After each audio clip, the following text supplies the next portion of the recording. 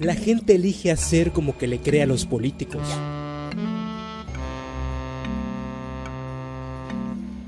Como que nos cree a los medios.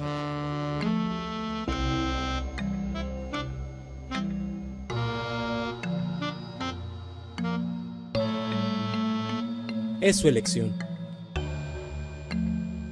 En el fondo, ellos saben que nada de lo que ven es real. La realidad se da fuera de su vista.